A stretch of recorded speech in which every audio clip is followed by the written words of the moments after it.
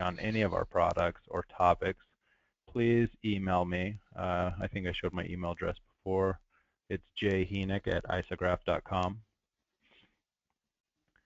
And without further ado, I'll pass the controls over to David. David, you on the line? I am. Okay. You should have controls now. Okay, um, so hopefully now everybody will be able to see my, my desktop. Uh, hi everyone, my name is David and uh, as Jeremy has already said, today I'm going to be showing you how you may be able to go about modeling uh, a deliberate attack on an onboard computer system on a vehicle uh, using an attack tree analysis. Now, um, the tool I'm going to be using to do this is our own Attack Tree Plus, which you should be able to see now uh, displayed on the on the desktop. Um, generally speaking, anyone who is already familiar with things like fault tree analysis and with event tree analysis should be very much at home with stuff that we're going to be talking about today. But for those of you who aren't, I'm going to try and keep things at quite a high level. Uh, so, you know, we won't dig too deeply into the technical side or mathematics or anything like that. I just want to give you an idea of how you might go about modeling a scenario like this using some of the tools that are available. Now, um, as Jeremy mentioned, re recently there's been some attention in the media uh, on attacks on uh, onboard automotive computer systems uh, made wirelessly uh, via two or three different uh, attack vectors. So what I'd like to do today is show you how you can build a model to maybe determine uh, the frequency with which such an attack might result in, say, a fatal accident, and maybe the risk uh, due to those uh, due to those attacks, attacks, uh, and also how to work out, you know, where are the the the, the biggest weaknesses in a system, what are the biggest contributing factors to the probability or the frequency uh, of these catastrophic problems. Um, so with an attack tree, much as uh, you would with a fault tree, the first thing you would do, of course, is identify uh, the, the problem or the event of interest. So as I mentioned, uh, what we want to look at is the frequency with which, say, a deliberate attack on an onboard computer might result in uh, a fatal traffic accident. So the first thing I will do is create a top event uh, that represents the event I want to look at. Uh, so I'm going to go to add and I will add a new top gate uh, and you see that appears in the diagram. Now um, I'm going to modify uh, that. I'll just double click and I will give it uh, an appropriate ID. I can also give a description as well when you're building these types of models, it's always a good idea to include as much descriptive information as you can. It helps with understanding and traceability. So if you ever need to come back to this model in you know 18 months, for example, you'll know exactly what each part of the model is about. Um, I'm not going to do that, so I don't want to bore you by having you watch me type all afternoon. So I'll uh, just call that top gate fatal. So the next step is to determine what are the direct causes of this problem. So my model, which you know is based on uh, just some articles that we, we've looked at on this subject, I've kept quite simple. As we're going along, probably you'll think of lots of details I've missed, but that's that's a good thing. But what I want you to do is to think about uh, what we're looking at today. So um, what would be the, the direct causal factors for a fatal accident? Well, uh, one I thought might be uh, driving in a, a high-risk scenario. You know, maybe you're driving on a busy highway, or maybe you're driving on a, a dangerous road. Maybe you know it might be a hillside road with no barrier, or something like that. Uh, another, and of course, on the other hand, uh, the fatal accident would be caused by the loss of control of the vehicle by the driver. And the two of those things together would result in a fatal accident. Now, what I'll do uh, next is create gates to represent each of those causal factors. So I'll click to add a gate, and I'll click on the parent gate and create two gates. I'll then clear out of the add mode. Now, the first gate, I'm going to call that uh, high risk, and that will represent the probability with which uh, I'm, I'm driving in a high risk scenario. And the other I will call control, which might represent the probability that I lose control of the vehicle or the frequency with which I lose control of the, of the vehicle. Now, as we mentioned, uh, those we may require those two factors to occur together in order for a fatal accident to occur. Now, in the real world, maybe that's a little bit of an oversimplification, but for our purposes today, I'm going to say if I lose control of the vehicle in a high-risk situation, then there will be a fatal accident. So I need to modify the logic of this tree in order to mimic that behavior. Currently, my top gate is an OR gate. That's what this symbol means. That means that this fatal accident will occur if I'm in a high-risk scenario or if I lose control of the vehicle. But that's not the correct logic in this, in this situation. I want to make it so that this fatal accident only occurs if both of these uh, situations are true. So I'll double click the gate, change that to AND logic, and click OK. So now fatal accident will occur if I lose control of the vehicle and I'm driving in a high-risk scenario. So we can now break that down further. For example, what would constitute a high-risk scenario? Well, there are a couple of things I mentioned there. One was driving on a busy highway. Another was uh, driving on a dangerous road. So I, am going to look at that and say, well, okay, I can look at the probability of driving on a busy highway. I can't really break that down any further. I, there's no more detail really that I, in which I can look at that. So instead of adding another gate, I will add a primary event. That represents the most basic type of event that could occur in my model. So I'll add a basic event, and that one will represent the probability of driving on a busy highway and I'll add another to represent the probability of driving on a dangerous road. So uh, I'll call that event highway. I will call this event uh, dangerous, that's a dangerous road. And in this uh, scenario, the OR logic is correct because I'll be in a high-risk situation if I'm on a busy highway or if I'm driving on a dangerous road. So uh, next I'll break down the uh, control gate. So I'll, I'll uh, let's take a look at what might cause me to lose control of the vehicle. Well, one would be that uh, a hacker, for example, gains access to a, a, critical system in my in my vehicle. So I would lose control uh, if the hacker gets access to a critical system and uh, if the attack on that system affects my ability to control the vehicle. So I'm going to add a couple more gates and uh, I'm going to call this one access. So the hacker gets access to the onboard computer and this one I'll call critical, and that represents the probability that the hacker then attacks a, a critical part of the system. And again, that will be AND logic. So now, if the hacker is able to gain access and they attack a control critical part of the system, then uh, that could lead to a fatal accident in a high-risk scenario. So what we're going to do next is take a direct look at the access uh, side of the tree, and this is where things really start to get a lot more interesting.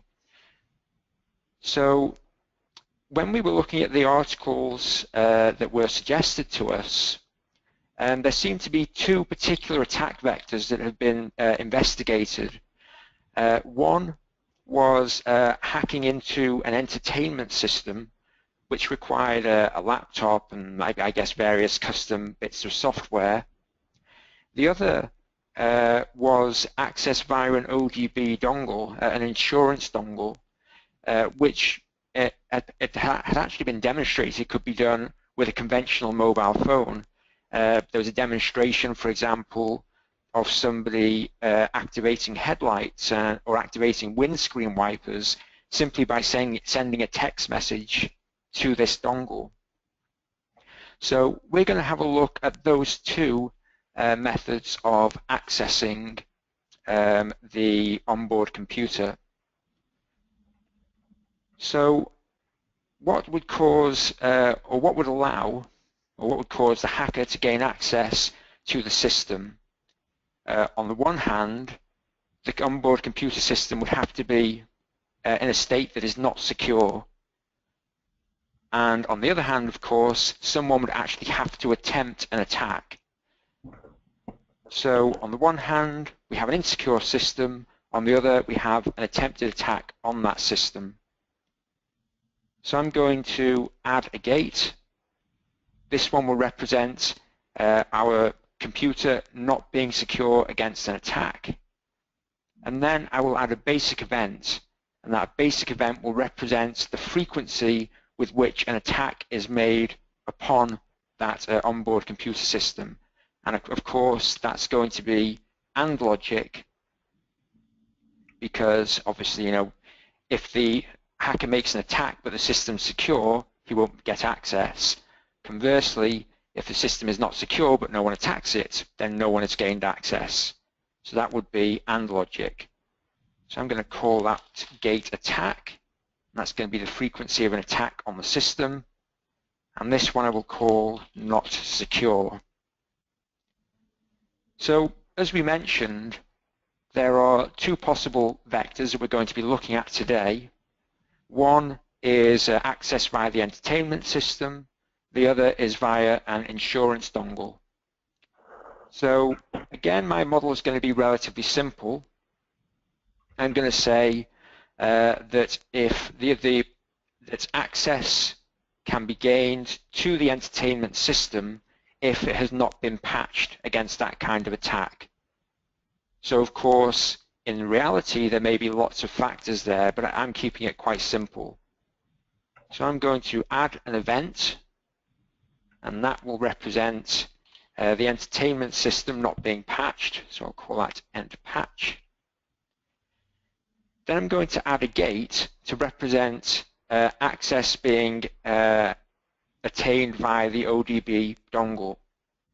So I'll add uh, another gate, call that ODB, and then this would, uh, someone could gain access to the ODB dongle again if the dongle has not been patched against attack, but there is of course the condition that the driver actually has such a dongle installed in their system because of course if there's no dongle then there's no access uh, via that kind of attack.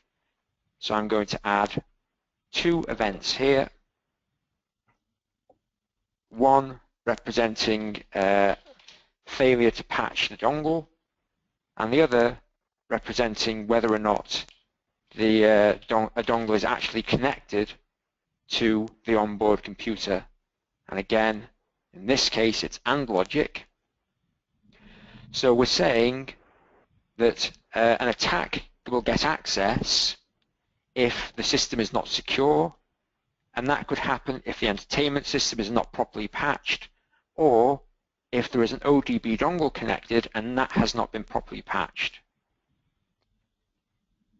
So already you can see the tree is starting to take shape.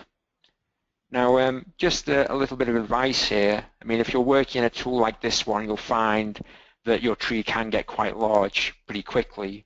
Um, you can rescale the tree, but uh, I prefer, you know, to uh, actually open up one of the gates and just page it. And that just lets me break down my tree into more manageable pieces. So I can have pages of my tree where I can look at the probability of access to the, uh, to the system.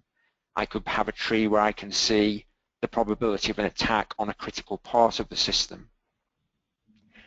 Now, um, I'm not going to go any further now with actually building the tree. I think I've shown you everything, all the most useful aspects of that, how you use the top-down methodology to determine the intermediate causes of a problem and what are the most fundamental causes of that problem, and also how those uh, intermediate levels, those logic gates, allow us to show how failures interact with each other uh, in order to give that final failure whether it's OR logic or AND logic or whatever else. So I'm going to skip now to the completed logic tree and then maybe we'll look a little bit more at the quantitative side of this analysis. So if you'll bear with me uh, for a moment.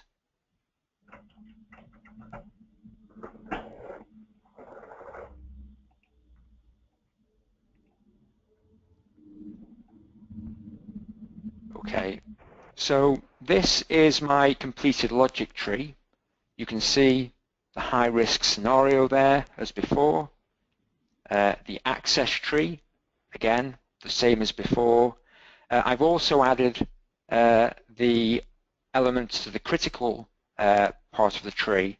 So the, the uh, probability of an attack on a critical system, it could be a system that affects visibility, or that uh, affects controllability.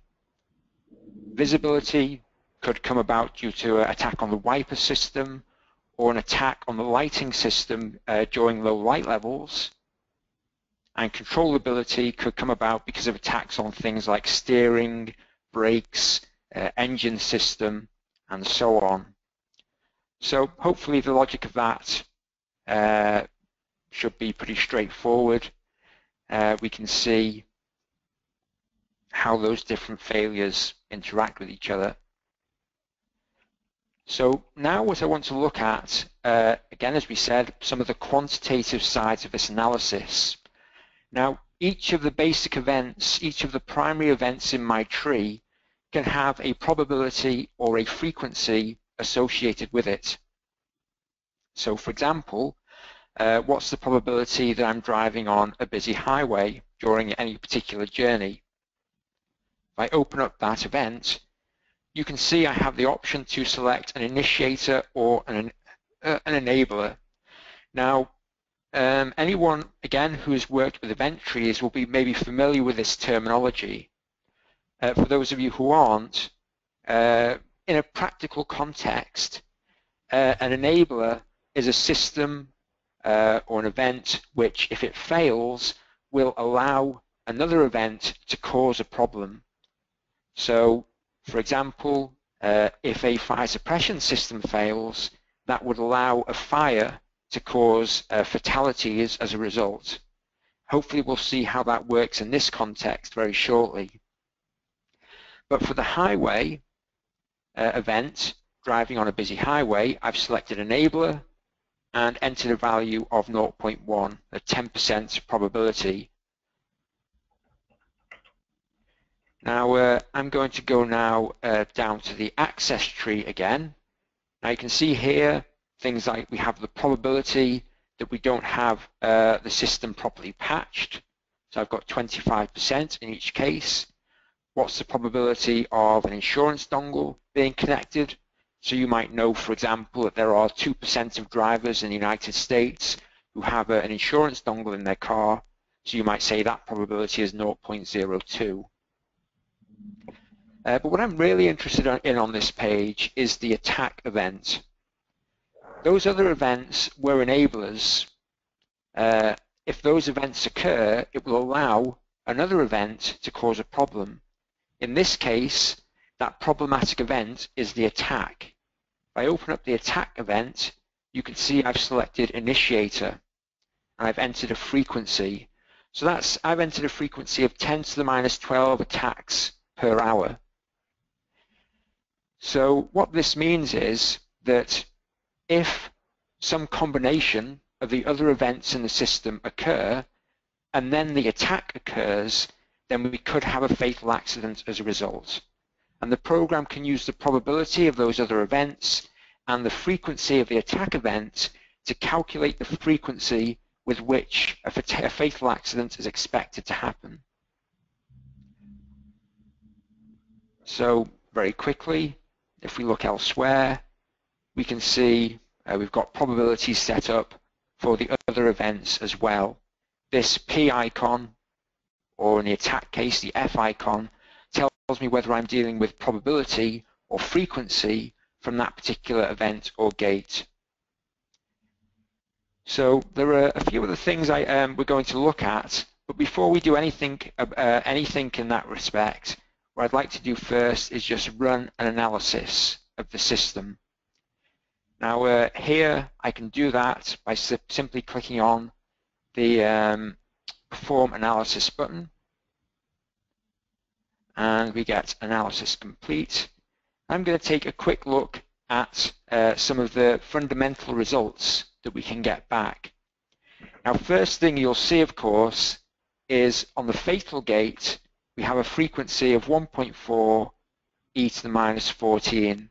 So that's the calculated frequency with which we might expect a fatal accident as a result of a deliberate attack on the computer system. Um, so I, I, I think a, uh, a little bit earlier I looked at a calculator and based on this rough number of cars in the United States, that would equate to something like uh, one fatal attack per 50 years per car. So again, whether or not that's accurate, I couldn't say for sure. This model is based entirely on uh, the articles we looked at and our, our own speculation. But uh, hopefully that's not too far short of the ballpark. So that's you know a quick snapshot of the results. We can see more detail if we go to the results summary. So I can look at the fatal gate. Again, I can see the frequency of failure. There are some other things going on here which I'll talk about shortly. What I'd like to look at first uh, is the importance. Importance, uh, this is what I mentioned earlier on. I said that one of the things these models can do is give you an idea where the weak spots are in the system, which events, which problems are going to contribute the most to uh, failure to frequency or probability of failure or an attack or catastrophic failure in your system. So here we can see that the uh, attack event, of course, is contributing the most. We would expect that because, of course, the attack event has to occur in every possible sequence of events that results in a fatal accident. However, we can look here and see, well, after that, uh, the failure to patch the entertainment system is the biggest contributor to this possibility of a fatal accident. So we might look at maybe uh, a more a more aggressive method of patching, or maybe making customers more aware that of what they need to do to make sure that their security software is up to date. Uh, and we can also see um, sensitivity information Sensitivity is a um, basically a measure of how sensitive the system frequency or probability is to changes in the frequency or probability of that event. Now, the other thing I'd like to look at, the cut sets. This is useful in that it gives you a, a list of all the possible sets of events which, if they occur together, will result in a fatal accident. So, and I can see that the most likely uh, causes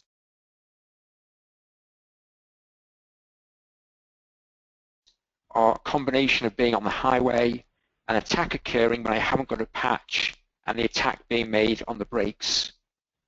So I can see not only which events are contributing the most, I can see which uh, sequences of events are contributing the most. So all of that really relates to uh, the frequency of failure, but there are other um, factors we can take into account as well. For example, we can look at indicators. An attack on any system requires resources. The attacker may need to spend money, uh, acquire equipment for the, for the job. Maybe the attack is quite difficult, especially if they have to bypass security measures. You can use indicators to quantify uh, the lengths to which an attacker has to go in order to make an attack. For example, uh, we can specify an indicator like cost. I've got a minimum and a maximum defined. I can also define things like difficulty, uh, whether or not equipment is required, and there are also custom options as well. So if there are other factors you need to take into account, uh, you can do that as well. So where have I applied that? Well, let's take a look at access. So I've applied these to the patch uh, parts of the tree. So my logic here is that um, I'm saying, you know, I'm going to specify the cost, difficulty, and equipment required to attack the entertainment system or to attack uh, the, uh, the insurance dongle. So if I open up the end patch event, for example, and go to indicators, I might specify a cost of $1,000 for the equipment required to make this attack, maybe a difficulty of 5 out of 10, and the equipment, this is a Boolean uh, expression in this case, where 1 means special equipment is required and 0 means it's not. Conversely, uh, the ODB patch attack, the cost is a lot less because, as I mentioned, it was demonstrated this could be done with a regular cell phone. So if you have a few dollars to spend on a cell phone, you need no special equipment, and the attack could, attack could be relatively easy. So when I run the analysis, the program can work its way up the tree and at each level determine what the cost or the minimum cost, the minimum difficulty and equipment is required to make this attack. So here you can see potentially someone could cause a fatal accident at a cost of only $100 and with relatively little difficulty. Now the way these numbers are propagated up the tree is customizable. Here I've chosen a relatively simple way of working it out. Now on the other hand, uh, we've looked at what resources go towards making the attack, what then will be the consequences of that attack. Now at the bottom on the left here you can see I've defined some possible uh, consequences for uh, whether it's the accident itself or some other uh, aspect of the uh, attack on the system. I've created safety consequences and I've created security consequences. You can see here my safety consequences relate to maybe different uh, levels of accident with different numbers of injuries or fatalities. If I open one of these up, say the moderate consequence, you can see I've entered a weight. The weight is a dimensionless value which represents the severity of that particular consequence. Usually this is a sliding scale. Uh, Again, it's arbitrary. Maybe 0 is the best case and 10 or 100 is the worst. Sometimes, though, people tend to think of these in terms of actual values. So maybe 5 is the number of fatalities. And on the security side, this might relate to a relative uh, violation of privacy. So, you know, for example, somebody could access the details of past journeys or even get access to uh, phone contacts from the user's mobile phone if it's connected to, say, a Bluetooth uh, system. So I can then allocate these consequences to uh, gates and events in my tree. So for example, on my access tree, I've allocated a security consequence. So I'm saying that if the hacker gets access to the system and I even without any of these other aspects of the tree, I can say if they are able to get access, immediately there is a security problem, even before they've attacked a potentially critical system. And then for the fatal uh, accident gate, I can specify a, a catastrophic safety consequence. So you can what you can see from this is that while my tree is primarily geared towards looking at the frequency of a fatal accident, I can also look at other possible problems as well, not just uh, fatalities, but also maybe security violations or uh, maybe environmental issues or even reputational issues. You can see here you can define quite a wide variety of different types of consequence. So how does that manifest itself in the results? Let's go back to our results summary and take a look at the consequence tab.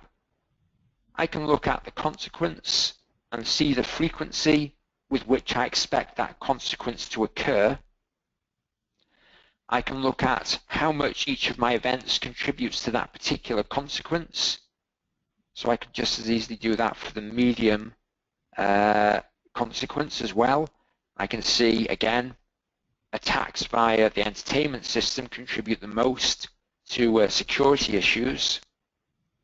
And I can also look at cut sets for individual consequences as well. I can also look at risk. Risk uh, basically quantifies the uh, well quantifies the risk to the system uh, from these different consequences. The calculation is very simple. The program just multiplies the weight of the consequence by the frequency with which that consequence occurs.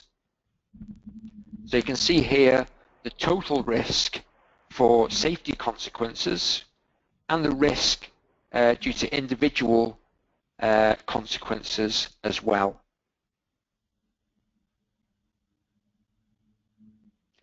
And uh, a lot of these parameters can be displayed in a plot form.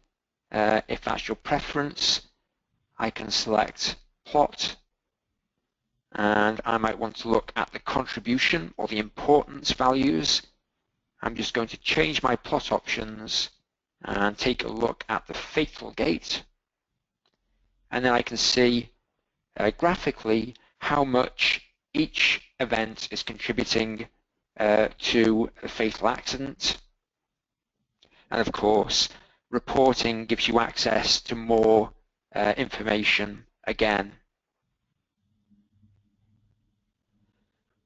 So uh, to summarize, what we've shown is that using a tool like AttackTree Plus, we can construct a logic diagram, in this case an attack tree, by first defining the event we're interested in, in this case a fatal attack on a, an automotive onboard computer, and then using a top-down methodology, determine what are the causal factors for that event, right down to the most fundamental contributing events, uh, the enabling events, which allow problems to occur, and the initiating events, the events that actually trigger the problem in the first, uh, once those other failures have occurred. And we've showed how we can use that then to determine the frequency with which an accident might occur due to an attack. And we've also shown how we can go a step further and look at the resources required to make such an attack and the risk we might incur due to such an attack as well. So um, that's everything I was going to uh, show you today uh, with regards to the construction of uh, an attack tree. Um, so yeah, I, I, guess we can, um, Jeremy, throw things open to questions if you're happy to take over again. Yeah, we don't have any questions that need to be addressed so far. Um, Dave, did you get a chance to maybe show a quick report on this? Uh, certainly, yeah. Um, so I did briefly mention that you can construct reports. We didn't look at any, but um, you can see here there's a report button. I can uh, switch over to that. Uh, this gives us a report view where we can access uh, report templates. Now, the templates are um, files which, when you open them, interrogate your project and then display the information that you've requested. Uh, and those can be tables or plots uh, and even the diagram itself. So let's open some example reports. Maybe we'll look at some results. and uh, maybe we'll look at some gates cut sets. So these are the cut sets for the uh, fatal accident gate. And you can see the frequency of each cut set on the right here. And of course, you know, you can obviously dump these things into programs like Microsoft Word, PD, uh, PDF files, and so on. Also, you can view uh, plot reports. For example, the importance plot we looked at uh, earlier, you can open that as a report as well, and again, export to Word or PDF, wherever you might want it. And uh, of course, perhaps the report you might most want, the actual attack tree, attack tree diagram itself. I can open that. There's my attack tree. And each page of that tree is on a separate page of the report. So you can see there the access tree is on page 2. You can switch to page 2 and see the tree there. And uh, again, all these reports can be exported to various different formats. Uh, and of course, they can all be customized as well. So you can do anything from something uh, relatively trivial, like maybe having your company logo appear at the top of a report to actually changing the data that's displayed here because of course there may be other information coming from your project which you want to display that isn't already in one of your existing reports. All of these reports are customizable, all of them are, are exportable and, uh, and can be shared between different, uh, different colleagues.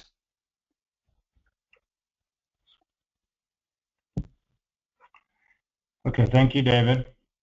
Okay. That looks good.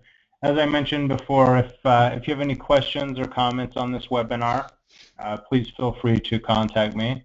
Also, I look for suggestions all the time for future webinars. We try to do one of these every week, but sometimes it's every two weeks. But um, we definitely like to take topics from our um, audience. So if you have any questions or would like to see topics on other on AttackTree or other software products, please let us know.